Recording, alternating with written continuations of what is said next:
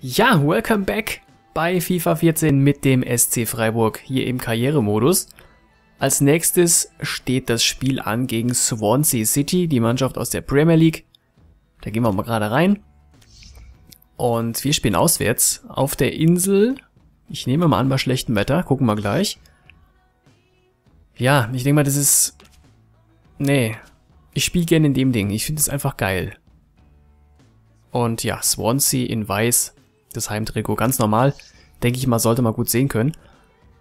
Oh Wunder, es ist schönes Wetter, zumindest heiter in England. Schönes, kleines, schnuckeliges Stadion, Molten Road. Ich wollte ja mit einer etwas veränderten Mannschaft spielen. Ich kann mal gucken hier. Ja, die sind alle nicht so wahnsinnig müde. Ich gucke einfach mal gerade, wie es aussieht. Ähm, Günther zum Beispiel für die linke Verteidigungsposition. Ähm, möchte aber gerne auf der rechten Seite auch noch wechseln. Wo ist denn der? Ach, der Hedens da wieder ganz unten. Ähm, Julian, der kommt auf jeden Fall mal mit. Für, ne, ich denke mal die beiden, die spielen. Der kann für Ginter mal rein. Äh, ne, ihn nicht. Dian, Mr. Fehlerteufel. Dafür kommt Höhn heute mal von Beginn an. Ähm, Zuck, linke Seite, denke ich mal, passt. So, Freis, nee. Memedi fängt heute an. Rechtes Mittelfeld. Da haben wir ja Klaus, der spielt heute auch. Kerk nehme ich mit für Pilar. Das gibt dann heute mal wirklich mal einen kompletten... Ja, Neustadt kann man nie sagen. Ähm, die haben ja so schon mal zusammengespielt. Schuster, Kapitän... Nee. Nee, das mache ich nicht. Also zumindest der Schuster muss stehen bleiben. Also wenigstens eine Konstante. Coquelin, der kann aber mitfahren für Gerson Fernandes. So, was haben wir denn noch hier unten? Terrazino, GD. Ja, nehmen wir GD mal mit für Hanke. So, ich hoffe, ich habe jetzt mal alle weg, die nicht unbedingt spielen müssen. Darida und Schuster. Für Darida, da habe ich auch keinen richtigen, der da spielen könnte. Nee. Dann lassen wir die beiden stehen und dann passt es. Ist schon ein bisschen verändert jetzt, wenn man ehrlich ist. Und das wird, glaube ich, nicht einfach. Wir dürfen nicht vergessen, wir spielen auf Weltklasse. Wird interessant. So, das hier, das... Ja, konnte ich eigentlich mal. Ja, ihr seht, 4000 Punkte mit einem Schuss abgestaubt. Wenn das Spiel hier so läuft, dann war das, glaube ich, ein ganz gutes Omen. Oh Gott, ist der groß. Meine Fresse, was ein Mutant. Das ist das. Ja. Also da dürfte ja zumindest heute mal nichts passieren, was irgendwie mit langen Bällen zu tun hat. Guckt euch den Kerl mal an da, der zweite von rechts. Meine Herren. Also der hat ein bisschen mehr Zaubertrank abbekommen als Obelix, glaube ich. Mal sehen, ob wir hier noch sehen. Das ist ja abnormal. Ich weiß gar nicht, ob man das in den Statistiken gucken kann, wie groß die sind. Also der ist mit Sicherheit ganz nah an der 2-Meter-Marke. Da haben wir Kanyas, Spanier von Swansea City. Ich wüsste trotzdem mal gerne, wo der Michu ist. Ich habe jetzt gerade nicht auf die Mannschaftsaufstellung bei denen geachtet, ob er wirklich da gestanden hat. So, da haben wir die Tabelle. Es ist egal, was heute passiert. Also da kommt jetzt erst die Mannschaft. Ja, dass ich leicht verwirrt bin, das kennt er ja schon. Wilfried Boni, das Tier vorne, Nummer 10. Micho habe ich gerade auf der Bank noch gesehen. Das ist verwunderlich, dass der gar nicht spielt. Ist meiner Meinung nach eigentlich der Spieler von Swansea City. Und da ist unsere Mannschaft ganz junge Truppe. Auf der Bank auch nur eigentlich, ja, drei Spieler, die sonst Stamm spielen. Der Rest sitzt auch zu Hause in Freiburg und dreht Däumchen. Ne, natürlich nicht. Die sitzen natürlich vor dem Fernseher und feuern die Pflaumen an, die heute hier am Platz stehen. Ich bin gespannt. Zweites Spiel auf Weltklasse, zweites Mal auswärts. Das fängt schon mal nicht schlecht an. Mimidi hatte den Ball eigentlich schon. Man sieht, wie schnell die spielen. Ich habe eben bei Bergi geguckt. Ähm, gegen Düsseldorf war das Spiel. Baumann. Was macht der Baumann da? Ist der komplett verrückt? Also ich glaube, manche hat das Gefühl, ich habe ihn nur mit Wahnsinnigen zu tun. Ihr habt doch gedacht, er geht da hin und fängt den. Mann, Mann, Mann, also der kann doch nicht wach gewesen sein, weil ich habe doch den Schlaf aus den Augen gerieben. Also das ist echt unglaublich, die Aktion. So, das ist Zuck. Ja, der sollte den eigentlich unten hin. Nicht so ganz wie ich wollte. Mimedi. Oh, Mist, verdammt. Knappe Geschichte. So, wir wollen auf jeden Fall heute ein bisschen offensiver spielen. Ich habe keinen Bock auf Mauerei. Muss ja auch nicht sein. Ist ja egal, wie das Spiel ausgeht. Wir wollen ein bisschen was versuchen nach vorne. So, der muss weg. Ball muss weg. Schuster.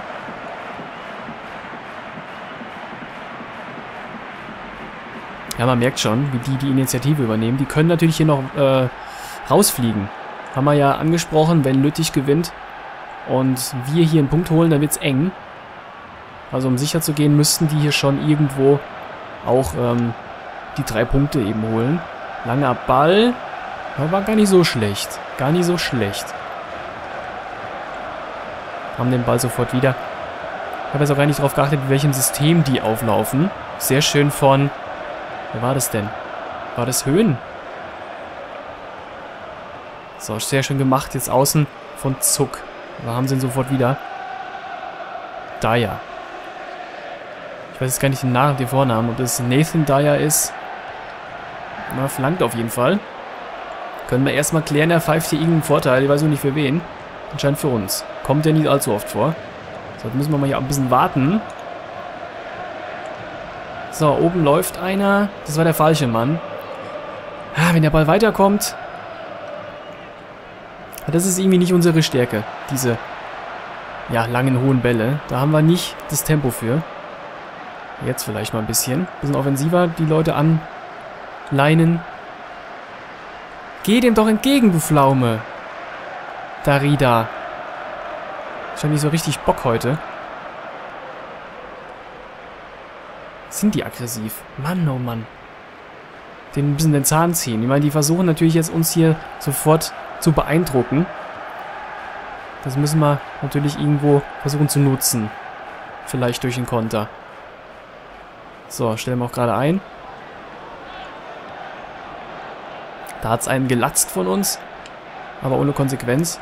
Linke Seite ist mir momentan einfach lieber als die rechte. Ja, Boni, der ist nicht nur vorne gut. Der ist auch wirklich hinten. Absolut. Ein klasse Mann. Holt sich den Ball da. Oh, der war nicht schlecht gespielt. Der war nicht schlecht gespielt. Flanke kommt. Und wir kommen da nicht zum Mann. Und mal wieder pennt Baumann. Also bei hohen Bällen ist Baumann wirklich eine Schwachstelle. Wir sehen es jetzt nochmal hier.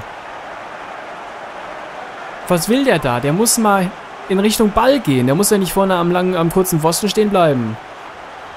Meine Güte, natürlich, dass hinten das Duell dann noch verloren wird, kommt natürlich dann auch noch zusammen.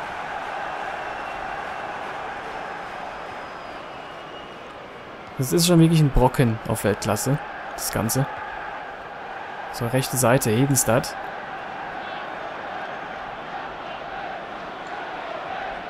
So, jetzt haben wir mal ein bisschen Platz. Das ist Günther. Schön, auf Zuck. Zuck mit der Flanke, der ist nicht schlecht, aber auch nicht gut genug. So, das ist ja... Oh, da hat er gepfiffen. Ah, jetzt habe ich den Schmied nicht am Platz. Jetzt habe ich den Schmied nicht am Platz. Wo ist Freistoßpräzision? Da ist Darida relativ gut. Schuster ist noch besser. Ich glaube, wir haben uns einen Freistoßschützen gefunden. Jetzt haben wir, glaube ich, mal die Möglichkeit hier. Die Möglichkeit. Ich weiß nicht, soll ich außen rum versuchen? Aber das ist auch eine Möglichkeit. Ja. So, Möglichkeit. Schuster schießt. Da war nicht viel Platz. Der hat noch das Netz oben weggefegt. Da sehen wir es nochmal. Der streift das Netz oben. Bisschen zu viel Druck hinter. Schade. So, stellen die ein bisschen offensiver jetzt, die Leute. Oh, das ist natürlich ein bisschen viel jetzt. Offensiv, aber warum nicht? Jetzt kurz vor der Halbzeit. So, versucht den Ball mal zu holen.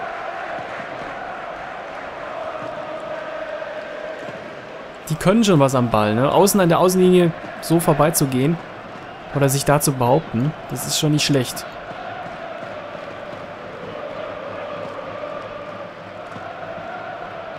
Ja, die locken uns. Man sieht es. Die sind nicht blöd. Jetzt renne ich den um. Ja, Klaus hat äh, versucht, aber klappt nicht ganz. Jetzt Vorsicht außen. Hedenstadt. So, Seitenwechsel.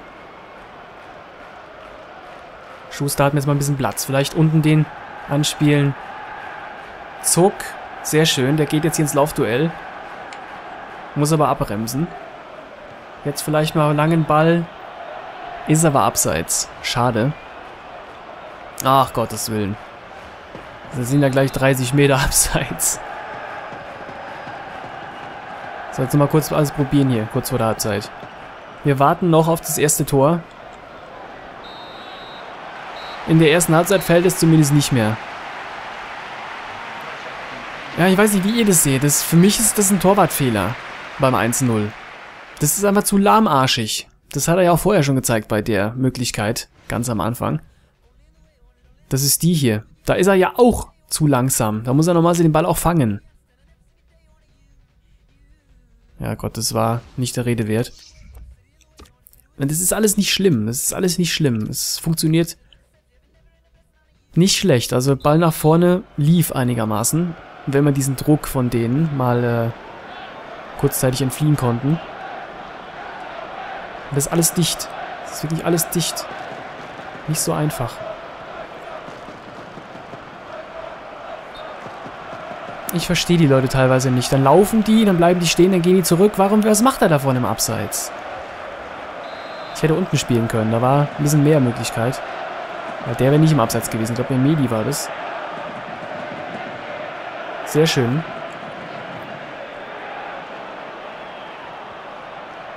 Jetzt holen wir zumindest mal die Bälle wieder.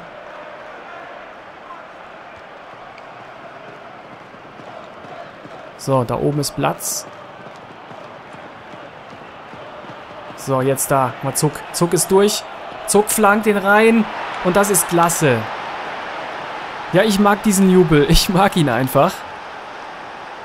Das ist heute ein bisschen anders, ne? Sonst war noch dieser eingesprungene. Das war wirklich super jetzt. Das war klasse von Zuck da außen. Und auch der Pass vorher. Das war wirklich so perfekt getimed. Keine Chance für Swansea. Und jetzt legen wir sofort nach, hoffe ich. Memedi. Nemedi, Ball nach außen, das ist kein Abseits. Und jetzt haben wir den Zug da außen schon wieder. Da haben wir den schon wieder. Schade. Diesmal kommt das Ding nicht an. Jetzt müssen wir natürlich hinten aufpassen. Ja, Begleitschuss für Boni. Die haben alle Angst. Scheißen sich alle ins Höschen. Schön aufgepasst von Günther, der junge Mann. So, linke Seite. Das ist eindeutig besser jetzt als die rechte. Wieder.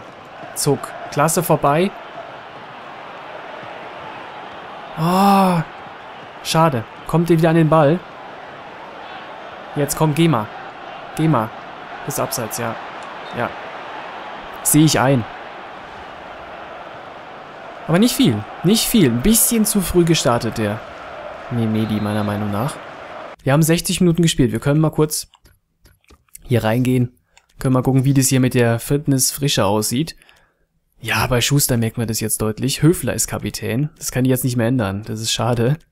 Habe ich natürlich vorher vermasselt, ist ganz klar. Coquelin, nehmen wir rein. Ähm, nee, linke Seite Zuck, der ist relativ müde, ne? Könnte ich Kerk bringen. Aber ich will eigentlich gar nicht so viel wechseln. Das sollte eigentlich schon in Ordnung sein. Coquelin für Schuster. Also eigentlich der Kapitän geht von Bord. Was in dem Spiel nicht ist, aber... Das bin ich noch beim Manager gewohnt. Das ist teilweise, wenn du die ähm, von der Position wechselst, ähm, dass dann wirklich der Kapitän mit der Position verschwindet und damit wechselt. Das ist hier nicht so. Jetzt Achtung, Boni vorne. Achtung, Boni. Ich sehe nur Boni. Ja, das habe ich jetzt komplett verpennt. Heden, komm. Komm, komm, komm. Komm, Baumann. Die sind wahnsinnig kopfballstark. Also auch die Kleinen hier, die Guzman, der hat ja auch das 1-0 gemacht. So wahnsinnig kopfballstark. Oh, der mäht den ab. Das muss nochmal so Open Foul werden, ja. War eine harte Geschichte. kann man mal gelb geben. Der geht ja voll auf die Knochen. Ja, und dann noch meckern hier. So haben wir das gerne. So, es hat sich komplett gedreht. Ist dann noch erste Halbzeit, habe ich ja immer versucht, die, ähm, der rechte Seite. Ach, ist ärgerlich. Ärgerlich, bisschen zu steil. Habe ich ja versucht, die rechte Seite so ein bisschen mehr mitzunehmen. Über den Klaus, weil ich mir gedacht habe, der Klaus ist schnell. Aber der Zuck hat es so klasse gemacht. Wir stehen sehr offensiv. Ich weiß, es ist, ihr seht es ja. Könnte Selbstmord sein. Aber das hat eigentlich meiner Meinung nach besser funktioniert. Ohohoho.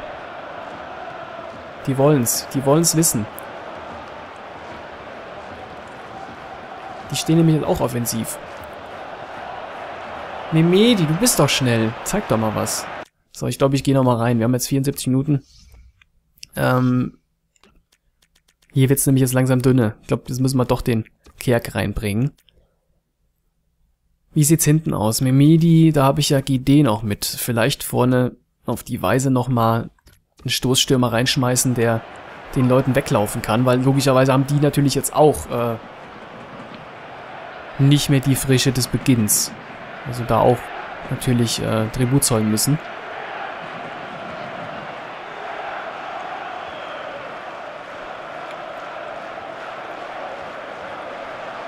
Schade.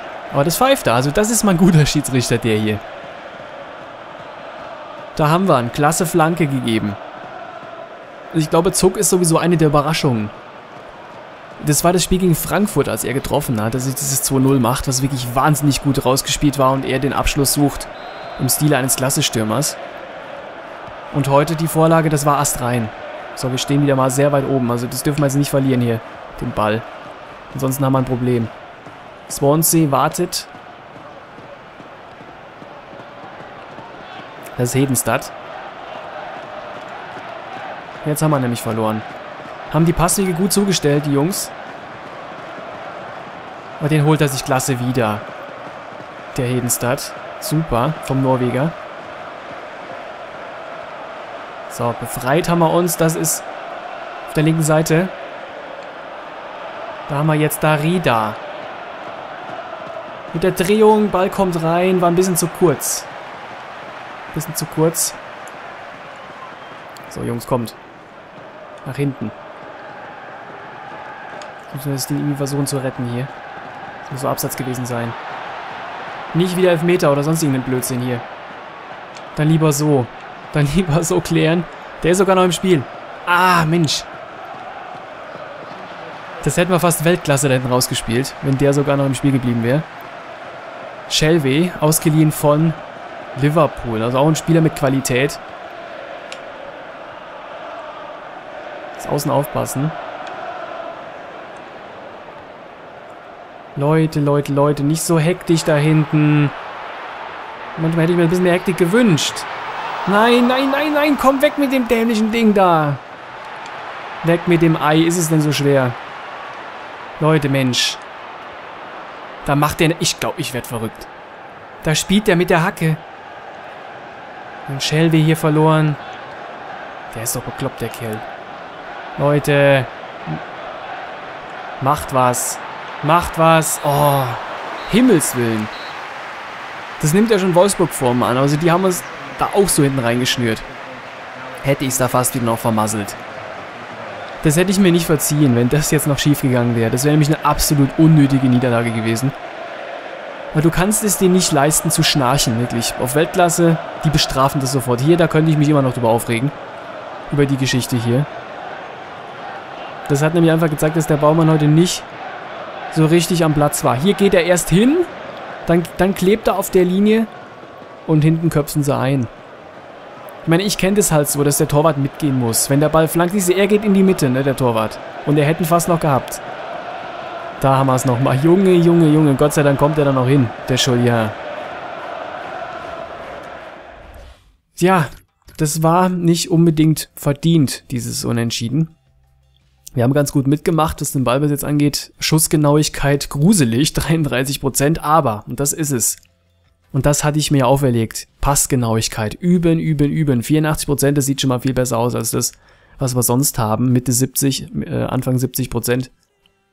Da haben wir heute mitstinken können mit Swansea, die natürlich das Ding hier hätten gewinnen müssen. Pfostenschuss, Druck ohne Ende. Gott sei Dank ist es gut gegangen. Wir gucken mal rein, was hat denn die Mannschaft gemacht? Ähm, Flanken nicht. Aber gut, bei Flanken, da sehen wir es jetzt gerade. Wo ist er? Der Hendrik Zuck. Eine von drei ist angekommen. Das war die passende. Die wichtige. So, Spielbewertung. Kerk bekommt keine Note mehr, GD auch nicht mehr. Das ist aber ein bisschen unfair, ne? Wenn wir jetzt mal stehen, hier Höhen mit einer 5,7, Höfler 5,6, ähm, Felix Klaus 5,6, jetzt auch da hinten noch der ähm, Schuster mit einer 6,0. Also ich finde, die haben gut gekämpft. Zuck mit einer 7,4, das war mit Günther der beste Spieler. Und es freut mich wahnsinnig für Günther, dass er das so toll genutzt hat. Ich glaube, wir haben hinten keine Probleme, zumindest auf den Außenpositionen nicht, was die Verteidigung angeht. Innen eventuell, aber naja, muss mal gucken. Auf Höhen halte ich ja eigentlich auch große Stücke. Vielleicht in Zukunft dann Ginter und Höhen hinten. Aber Julien mit seinem 2 Metern, da kann man auch jetzt nicht unbedingt sagen, dass man den abschreiben sollte. Also wir haben schon gut Qualität da in der Mannschaft. So, gehen wir weiter. Tausende Ergebnisse auf einen Schlag. So, wir haben eine Nachricht. Das ist von Felix Klaus. Wenn ich das gerade oben richtig gesehen habe. Er sagt, ich bin wirklich glücklich, dass ich so oft eingesetzt werde. Danke, Trainer. Tja, wie kann man das am besten einfordern, ne? Mit Leistung, das ist es nämlich. Das war heute nicht schlecht. Das war heute nicht schlecht von den Jungs. So, wir müssen mal gucken jetzt. Ähm, das Spiel gegen Hannover, das ist in zwei Tagen. Aber ich glaube nicht, dass wir jetzt da mit der gleichen Mannschaft spielen wie gerade. Also wir müssen schon irgendwie gucken, dass wir jetzt wieder unsere Top 11 draufsetzen mit ein paar Abstrichen. Ne? Darida zum Beispiel müde, vielleicht Schuster. Schauen wir mal. Wir gehen auf jeden Fall hier gerade das Ding vor. Pressekonferenz. Ähm, Schuster hat abgelehnt. Meine Gehaltsforderung wurde nicht erfüllt. Bin ein wenig enttäuscht von diesem Angebot. Möchte weitere Möglichkeiten abwägen. Tja, er steht nicht zur Verfügung, was die äh, Verhandlungen angeht. Habe ich mich jetzt da verzockt? Ich weiß es nicht. Wir haben auf jeden Fall noch einen Spieler von den Grasshoppers Zürich. Ein Susi Toko. 23 zentrales offensives Mittelfeld. Ja, haben wir da Platz? Ja, können wir noch gucken. Können wir mal scouten lassen. So, und noch aus Belgien auch ein Spieler. Das ist Jimmy Durmas. Ein Schwede vom FC Brügge, linkes Mittelfeld, temporeich. Ach, das dauert noch, das dauert noch. Ah, die sind ausgelastet. Ich weiß, wie lange dauert es hier noch? 30 Tage, der ist vollständig. Ist hier sonst noch irgendeiner? Warum braucht der so lange? Was macht der? Nimmt der an dem sein Leben teil oder was braucht der da 30 Tage? Mann.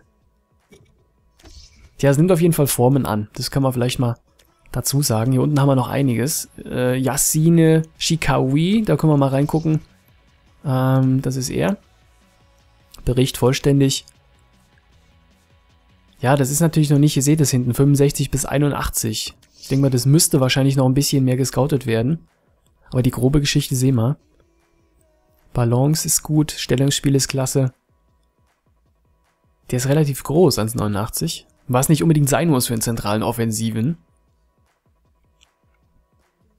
ja, ist nicht so schlecht. Guter Dribbler. Das auf jeden Fall. Ich glaube, da haben wir einiges zu tun. Geänderter Spieltermin. Was haben wir denn? Eines unserer Spiele. Es wäre mal ganz schön gewesen, wenn du dabei geschrieben hättest, wer. Das wäre schön, ne? Ich gut, 22. Februar, das ist ein bisschen noch hin. Also nicht akut jetzt. Ähm, da haben wir Hertha, 1. März, 10. März. Das ist Augsburg hier. Sorry. Ich habe wieder nicht hingeguckt. Steht doch da. So, Turnierpreisgeld. Was haben wir denn? Was? Ach so. Zusätzliches Transferbudget. 2,35 Millionen. Ja, man merkt, ich bin teilweise echt noch ein bisschen ähm, verwirrt, der ganzen Geschichte hier. Aber da stand jetzt noch nicht, gegen wen wir spielen, oder? Kann hier reingucken, Kalender. Das müsste ja normalerweise irgendwo dann hier auftauchen, wenn das schon da sein sollte. Nee. Hm, da haben wir's. Red Bull Salzburg. Klasse. Das ist ein gutes Los. Freue ich mich drauf gegen die Ösis. Ja, schönes Ding. Also es war ein Unentschieden gegen Swansea City. auf Weltklasse. Ich habe ein Tor geschossen auf Weltklasse. Das war sogar nicht irgendein so Lümmelding. Das war wirklich mal schön rausgespielt. Linke Seite, Flanke, Tor. Ja, das macht Mut für die nächsten Wochen. Jetzt können wir das zeigen. Zu Hause gegen Hannover in der Bundesliga. Platz 10 ist es. Wir können auf Platz 8 springen, wenn alles gut läuft. Gehen wir es an. Bis gleich.